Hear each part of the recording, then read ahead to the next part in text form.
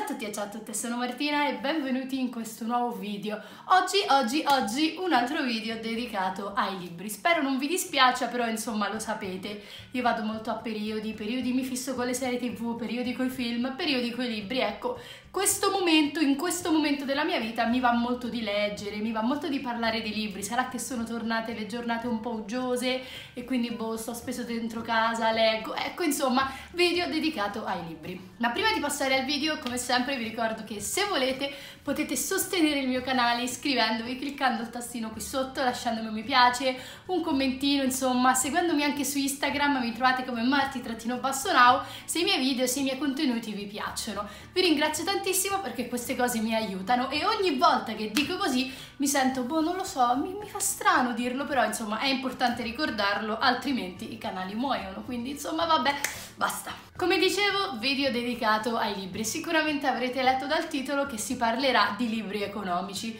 diciamo con un prezzo maggiore o uguale a 10 euro. A me piace tantissimo leggere, leggo tantissimo, ma comprare libri costa veramente tanto. Insomma, se si vogliono comprare numerosi libri, se si vogliono leggere più libri al mese, ecco, comprarli costa veramente tanto. Ed io ultimamente sto cercando un po' di contenermi perché insomma ho altri progetti per il mio denaro, quindi ecco, so che non tutti vogliono vogliono spendere tanto per i libri, quindi volevo consigliarvi dei libri che costano relativamente poco. È stato veramente difficile trovare nella mia libreria dei libri da consigliarvi che costassero meno di 10 euro e che non fossero soltanto libri classici. Ovviamente si sa i libri classici costano poco, li vedete a poco prezzo in libreria perché per lo più per quanto riguarda questi libri sono scaduti i diritti d'autore, quindi ovviamente costano di meno perché acquistarne il diritto costa, costa di meno, ecco, si paga per lo più la stampa, il lavoro, la traduzione però costano di meno perché non c'è il diritto d'autore, cosa che invece è presente per i libri contemporanei e quindi questi costano ovviamente di più ed è stato difficile trovarne qualcuno sotto ai 10 euro, però diciamo che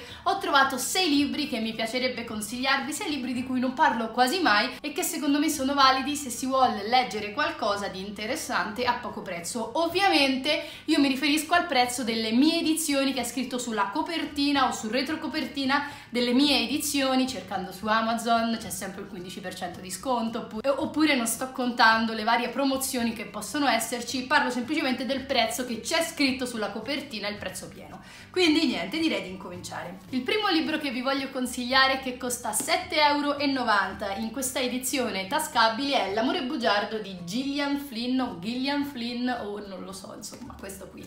So che a molte persone non piacciono le edizioni tascabili perché metterle in libreria è veramente antiestetico, insomma sono piccoline, sono cicciottine, sono bassine, quindi è brutto da vederle in libreria, ma io le trovo veramente tanto tanto comode, soprattutto se si viaggia, se si vuole portare il libro in borsa, se si vuole portare il libro nello zaino, insomma se si vuole avere sempre una lettura a portata di mano, un libro molto leggero e un libro abbastanza godibile. Questo libro mi è piaciuto un sacco, ve ne ho parlato lo scorso anno, ecco, ero andata abbastanza in fissa lo scorso anno e molti di voi probabilmente conosceranno la storia dell'amore bugiardo perché c'è il film, è uscito il film un po' di tempo fa, dovrebbe essere anche su Netflix. È un film interessante e ovviamente se avete visto il film sapete di cosa parla la storia, il libro tratta esattamente di quello. Ci sono Amy e Nick, due persone che sono sposate da 5 anni quando esattamente il giorno del quinto anniversario di matrimonio Amy sparisce. Sparisce da casa, sembra che sia stata rapita, c'è del sangue, non si capisce quindi tutti partono alla ricerca di questa donna per capire che fine ha fatto, per capire cosa è successo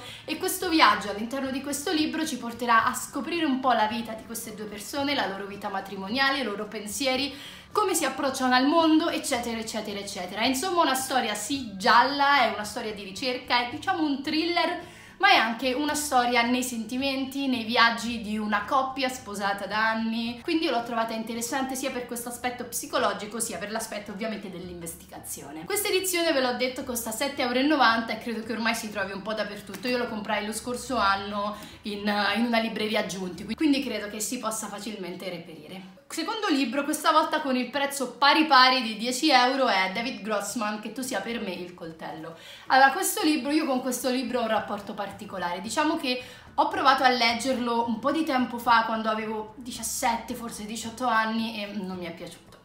Ho provato a rileggerlo e l'ho trovato interessante, ma l'ho sempre interrotto. La terza volta è stata quella buona per far scattare la scintilla tra me e che tu sia per me il coltello. Questa edizione è abbastanza vecchia, ma comunque costa 10 euro, è della Mondadori. È un romanzo, diciamo, epistolare. C'è questo uomo che scrive a una donna che ha visto, comincia a scriverle delle lettere per raccontare la sua vita.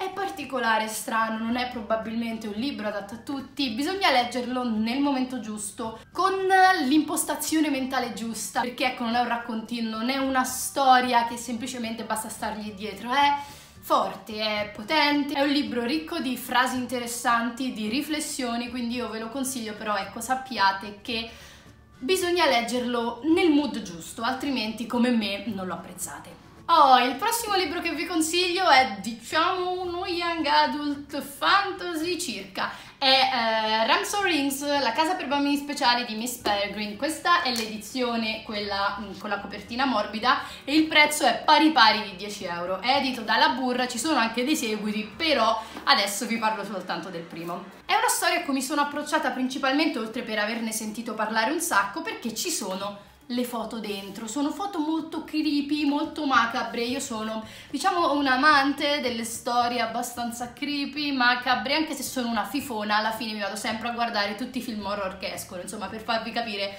che persona sono. La, la casa per bambini speciali di Miss Peregrine, anche di questo è uscito un film, ma comunque adesso stiamo parlando del libro, è una storia che tratta appunto di questa casa per bambini speciali e qui siamo Capitan Ovvio, però in realtà parla di questo ragazzo a cui muore il nonno e che praticamente il nonno gli raccontava sempre le storie di questa casa, dove era cresciuto e quindi lui decide un po' di andare a cercarlo, andare a vedere dove era cresciuto questo nonno, se le storie che raccontava a lui erano soltanto storie di fantasia o se avevano qualcosa di reale. È una storia interessante, ecco appunto ve l'ho detto, se vi piace un po' il creepy è la storia per voi. Non aspettatevi niente di pauroso, non lo è uno young adult, però comunque è piacevole, è fruibile, non aspettatevi il libro della vita, però comunque è interessante, comunque è un libro che costa relativamente poco e che quindi può essere letto tranquillamente. Altro libro che vi consiglio, poi passiamo agli ultimi due che sono due classici, questo è l'ultimo che non è un classico, è Susana Tamarro, Va dove ti porta il cuore. Allora, questo libro, anzitutto in questa edizione costa 8,50 euro, è edito dalla Bur, però questo libro è abbastanza vecchio,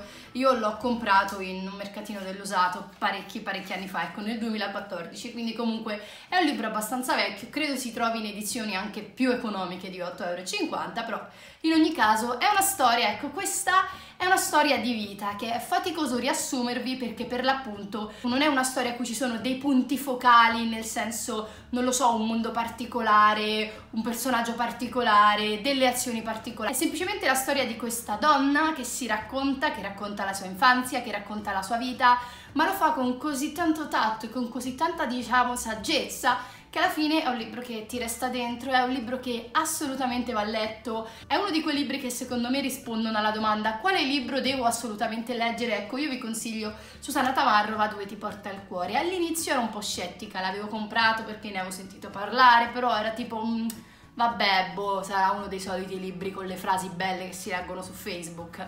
Invece no, invece no, oltre ad avere frasi bellissime che si leggono su Facebook, è un libro veramente, è un libro veramente toccante, quindi io assolutamente vi consiglio Va dove ti porta il cuore, non costa neanche tanto, quindi appunto va letto. Adesso abbiamo due libri classici, ho scelto uno della letteratura inglese e uno della letteratura italiana e, e Cominciamo.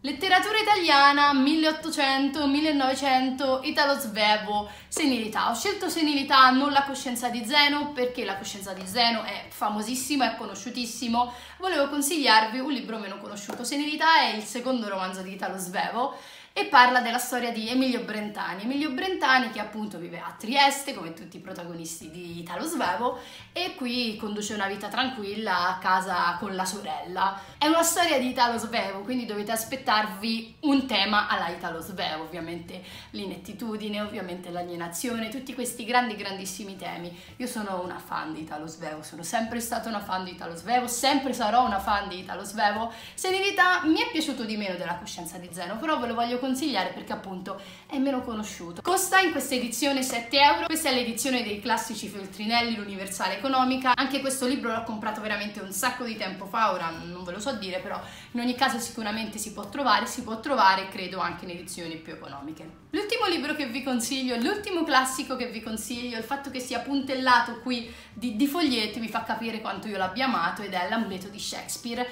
in questa edizione a 5,90€ della Rusconi Libri che dovrei aver comprato su Amazon ma anche qui sicuramente in commercio si trovano edizioni comunque sotto ai 10 euro.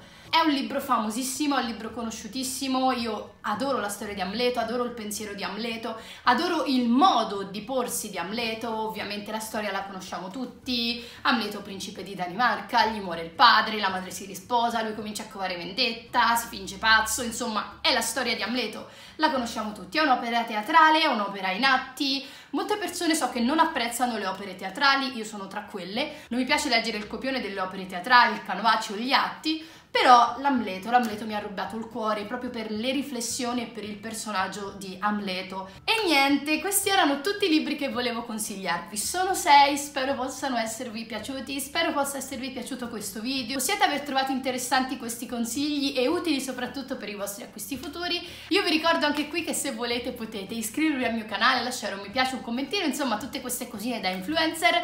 Fatemi sapere se questo video vi è piaciuto, vi mando un bacione enorme, ci vediamo in un prossimo video. Ciao!